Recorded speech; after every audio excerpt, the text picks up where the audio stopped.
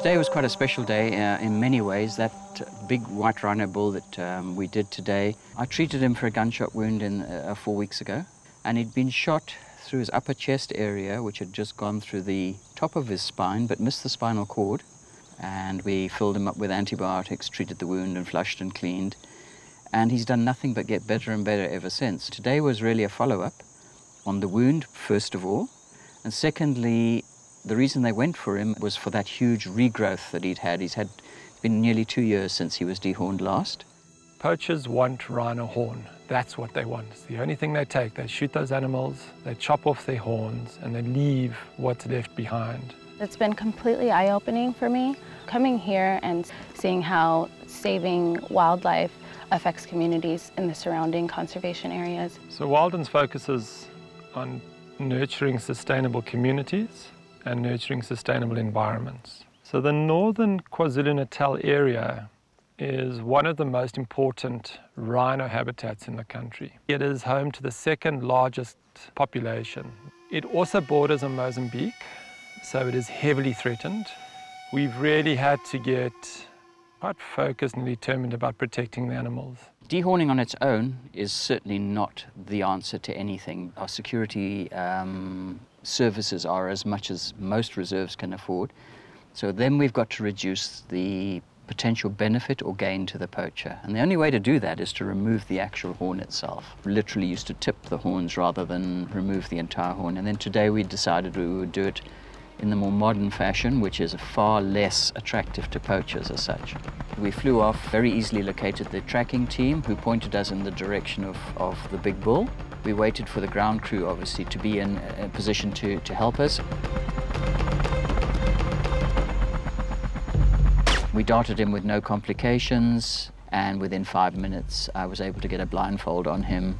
For me and for people like me, you see pictures of rhinos and you're like, oh yeah, that's a big animal. And then you get there and you feel like an ant. We swung him around so that he was across the slope.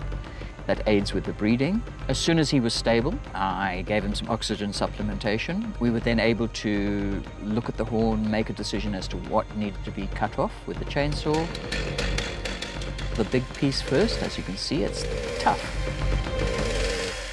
It is a brutal intervention. It is heartbreaking to see an animal that should have the most spectacular, the most magnificent horn. That's what characterizes a rhino.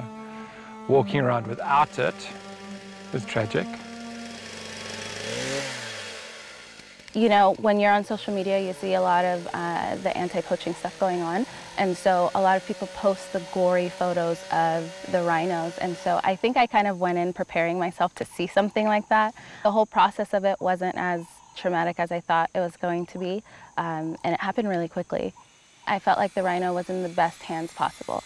I felt that everyone who had a hand on that rhino was an expert and their cause was for the betterment of that specific animal. It's a pretty brutal way of doing it, but at the end of the day, the end result was a pretty clean uh, affair. And it doesn't really worry them much. They, it does not appear to have any effect on them. And as you saw at the end, we pushed him over onto his side. And when he got up, he got up very comfortably, sniffed around for a few minutes, and then trotted off. For the last century, we've been able to focus on really just breeding up numbers from around about 40 in 1900 to well over 22, 23,000 by 2000. It's taking a preventative approach. It's before the problem starts, let's fix it now, and so that we don't have to find a dead rhino. You can see not only the skills go into it, but you can see the passion and the emotion. It's about protecting what we have. We have done the impossible before, and as we stand here now, we'll do it again.